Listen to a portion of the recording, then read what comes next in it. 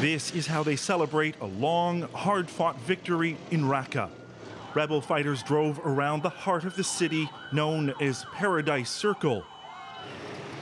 But for more than three years, life in Raqqa was more like hell after ISIS moved in and claimed it as their de facto capital. Today, rebel fighters declared victory.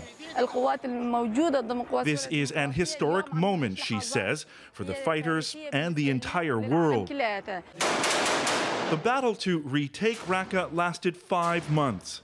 On the ground, it was these fighters who faced off against ISIS. They're with the Syrian Democratic Forces, a mix of Kurdish and Arab soldiers.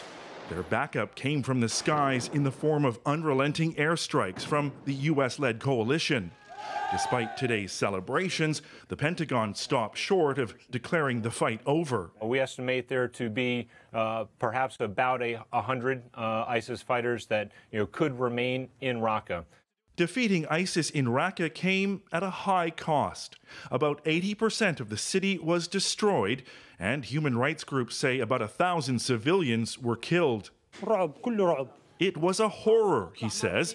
I tried to escape twice, but they were shooting at me.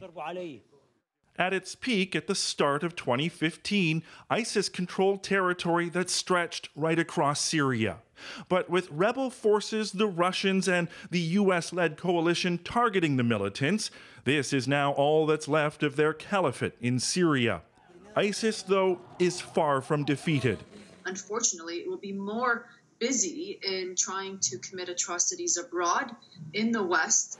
When ISIS is defeated in Syria and Iraq, one of the biggest challenges will be figuring out how to stop its global recruitment drive, which has fueled its brutal brand of extremism for years now. Derek Stoffel, CBC News, Tel Aviv.